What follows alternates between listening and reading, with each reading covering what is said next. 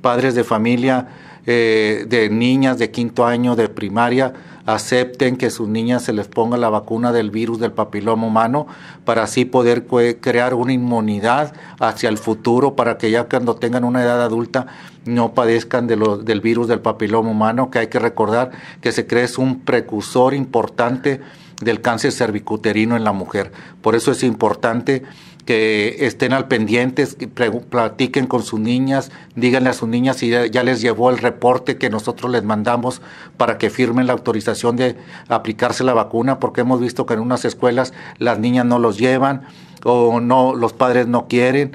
Y entonces es importante la aplicación de esta vacuna. Hay que recordar que ya está dentro del cuadro básico nacional de vacunación pero es importante la participación de los padres y que estén de acuerdo con la aplicación de las vacunas de sus niños. ¿Se han encontrado que a padres que no quieren o...? Así es, eh, hemos visto, eh, habíamos tenido muy buenas respuestas, pero en esta semana hemos visto que eh, en las escuelas que hemos visitado no sabemos si porque las niñas no les avisaron a los papás mientras no lleven ellas el volante que nosotros les demos para que lo, lo firmen y lo autoricen los padres, no aplicamos la vacuna.